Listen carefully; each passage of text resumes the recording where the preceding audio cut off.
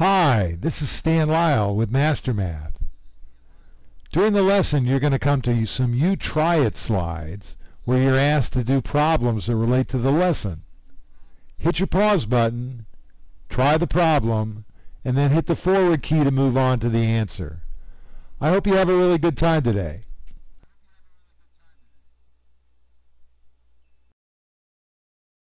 Today we're going to talk about ratios and proportions. And for most of you, this should just be a review. You should already know what ratios and proportions are all about. You should understand that this baby is not proportional to this pair of pajamas. You should also realize that this guy's head's not proportional to his birthday cap. And the mirror made these girls' faces out of proportion. So you probably know what most of this is, and this is going to be a review of ratios, rates, proportions, cross products, and scale. Well, let's start with ratios. What's the ratio of limes to lemons? For that matter, what does ratio mean? What do we use a ratio for? Well, we use a ratio to compare the quantities of two different things. In this case, limes to lemons. And I can look at that picture and see that there are six limes and two lemons. So, the ratio of limes to lemons is 6 to 2. Now, I was asked for the ratio of limes to lemons, not lemons to limes. Had I been asked the ratio of lemons to limes, it had been 2 to 6. But limes to lemons is 6 to 2. And I can write that a couple of different ways. I can write 6 to 2, but I can also write 6 colon 2, which is also 6 to 2. Or I can write it as a fraction, 6 to 2, or 6 over 2, or 6 per 2. 6 per 2, that fraction. I can simplify that to 3 over 1. And I can simplify any ratio the same way I'd simplify a fraction.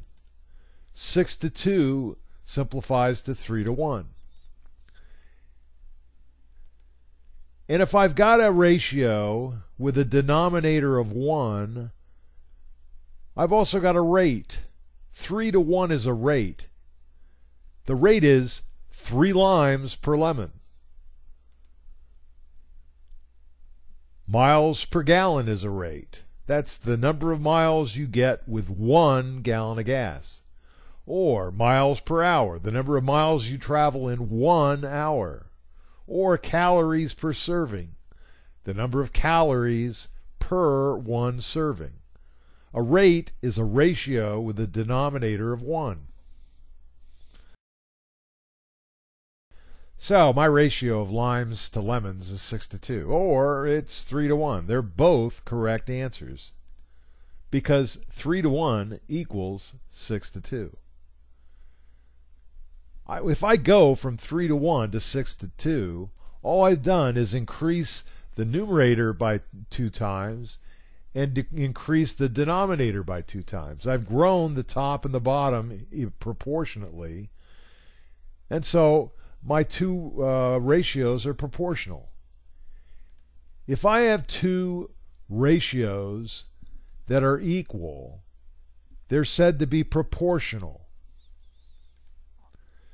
3 is to 1 as 6 is to 2. Well, let's see how an understanding of ratios might be helpful, even if you're not a mathematician. I am also a cook, and I make some great salsa. And my salsa recipe calls for six tomatoes per one quart of salsa. The ratio of tomatoes to salsa is six tomatoes per one quart. However, today I need to make four quarts of salsa, and I got to figure out how many tomatoes I need. Well, let's see. My ratio of tomatoes to salsa quarts is 6 to 1. And I want to make 4 quarts, but I've got to make it proportional or it won't taste right. If I put in too many or too few tomatoes, I won't have my salsa recipe and it won't taste well. So I've got to figure out how am I going to figure out how many tomatoes I need.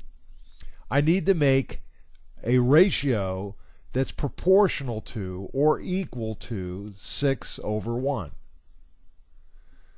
Now, what I do know is that I need 4 quarts of salsa. And in my ratio of tomatoes to salsa, the quarts is on the bottom, the tomatoes is on the top. So I'd want to put the 4 quarts on the bottom, and I wouldn't know what number to put on the top because that's what I'm trying to figure out. X is the number of tomatoes I need. But what I do know is that the number of tomatoes I need for 4 quarts has to be proportional to 6 tomatoes per 1 quart.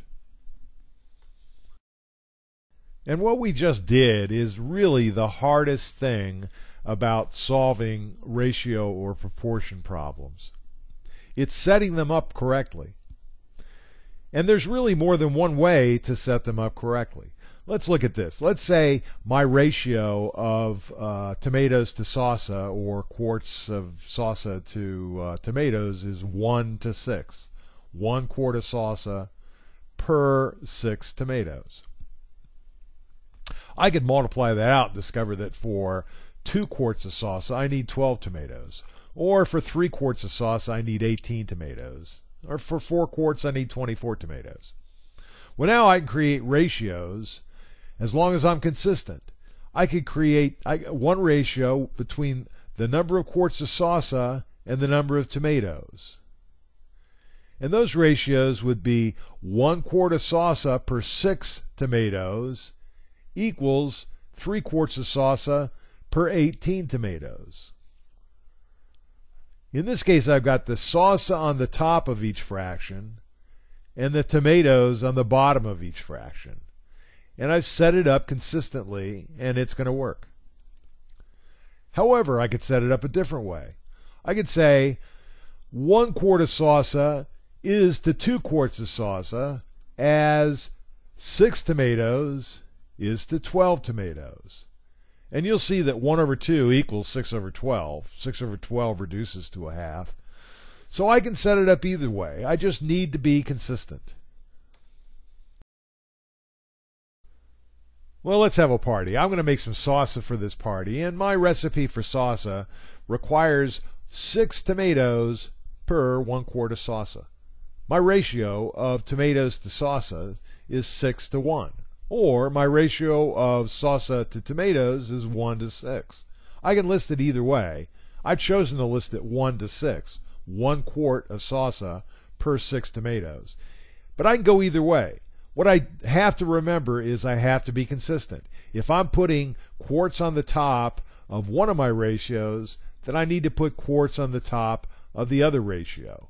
So that's what I'll do because I want to find out how many tomatoes I need for four quarts of salsa. I want a proportional salsa recipe. I want to grow my uh, quarts of salsa by the same amount that I grow my tomatoes. So I'm going to set up a ratio 1 over 6 equals 4 over t. And t is the number of tomatoes I need for 4 quarts of salsa. I could also set this up this way, though. I could say that 1 quart of salsa is to 4 quarts of salsa, as 6 tomatoes is to how many tomatoes? An unknown number of tomatoes. I could set it up either way.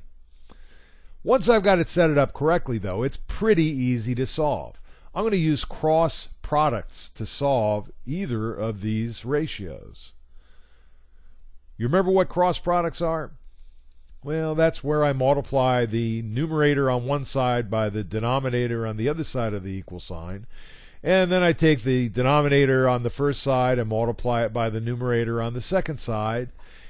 And then I've got an equation that can be pretty easily solved. I do the same for either of these, and I'm going to get the same answer no matter which one I use. The 1 to 6 equals 4 to t, to t, or the 1 to 4 equals 6 to t. They're both going to give me 1 times t equals 6 times 4, or t equals 24.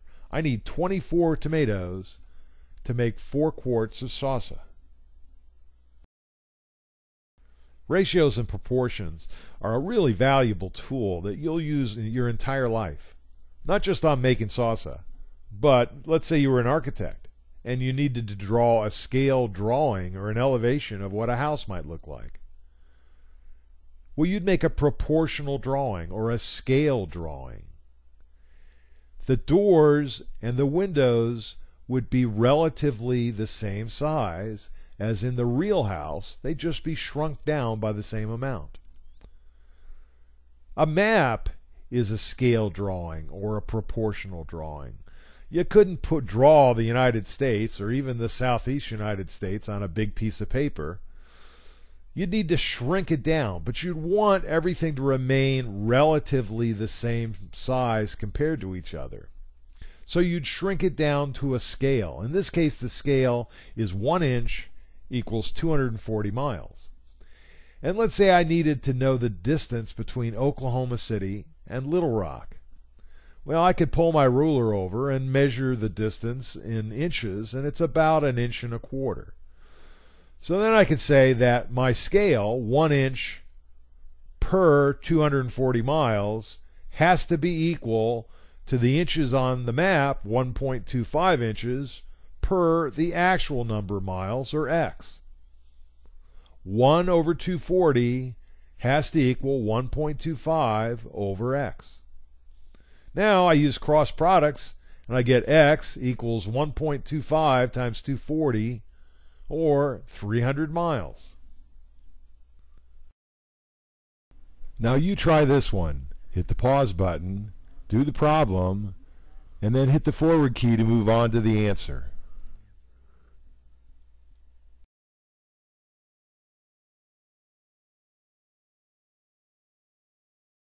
All right, Madison's a pretty, pretty prolific note taker. She took 10 pages of notes during two hours of class. After attending three hours of class, how many total pages of notes will Madison have in her notebook? Well, let's CUCC this. Let's circle our numbers, underline our question, and let's give our question a variable name. We'll call it x. x equals the number of pages of notes that Madison would take in three hours. Well, Looks to me like I could create some ratios. Madison took a total of 10 pages of notes during two hours. That's 10 pages per two hours. I could write that as a ratio 10 pages per two hours. And then I've got three hours and an X or an unknown number of pages. So I could set up a proportional relationship with the original ratio. I could say that the unknown number of pages per three hours has to equal 10 pages per two hours. Now, once I get these set up, they're real easy to solve. I'm just going to use cross products, and I'm going to come up with 30 equals 2x, and then I'll divide both sides by 2, and I'll get 15 equals x. Madison would have created 15 pages of notes in three hours. Try this one. Hit your pause button, try the problem, hit your forward key to move on to my answer.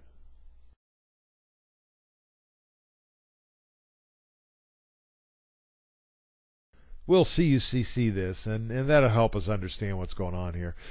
The uh, scale drawing of your room is, is drawn at a scale of 1 inch per 10 feet. And when you measure on the drawing, your room, it ends up being an inch and a half by two inches. And we need to figure out what the dimensions of the actual room are. So we've got two scales to convert. Our ratio, our scale ratio, is one inch per 10 feet. Now, one of our dimensions is an inch and a half. In my scale ratio, I've got the inches on top and the feet on the bottom. So I'd want to do that in my uh, unknown measurement too. I'd have one and a half inches per how many feet? I've got one inch per 10 feet equals an inch and a half per an unknown number of feet.